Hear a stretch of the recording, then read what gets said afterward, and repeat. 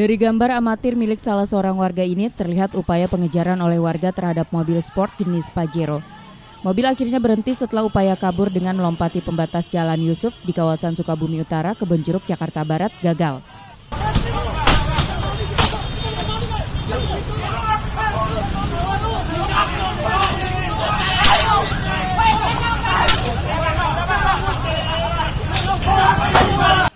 Warga yang emosi langsung mengeroyok sopir yang belakangan diketahui bernama Husni umur 59 tahun saat keluar dari dalam mobil bernomor polisi B2655PBC. Aparat kepolisian yang berada di lokasi berhasil mengamankan Husni dan membawanya ke rumah sakit karena korban mengalami luka di bagian kepala dan tangan. Selain sopir, warga yang terlanjur emosi juga merusak mobil jenis Jeep mewah tersebut.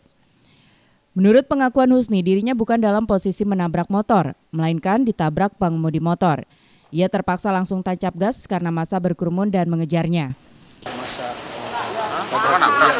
yang, yang, yang nabrak itu motor bukan saya. Oh gitu. Senggol ketika karena saya mau berhenti, akhirnya sudah banyak orang yang pun saya panik gitu.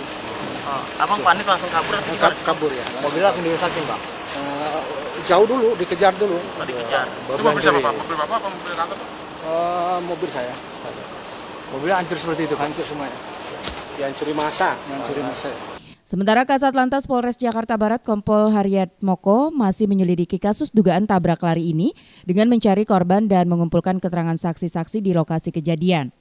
Nanti kita jelaskan. Sekarang yang penting anggota masih bergerak ke, ke TKP, termasuk mencari eh, korban laka. Bener kan ada korban laka di situ? Bener kan terjadi terjadi kecelakaan kan di situ perlu saksi juga kan? Nah, jadi jadi nah, sementara itu aja. Ada dugaan tabrak lari dan Nggak? dugaan tabrak lari? Nabrak lari belum belum belum ada. Pemilik mobil dan kendaraan yang mengalami kerusakan parah akibat hantaman batu masih berada di kantor unit Laka Lantas Polres Jakarta Barat. Baito Herlambang, Jakarta melaporkan untuk CTV Network.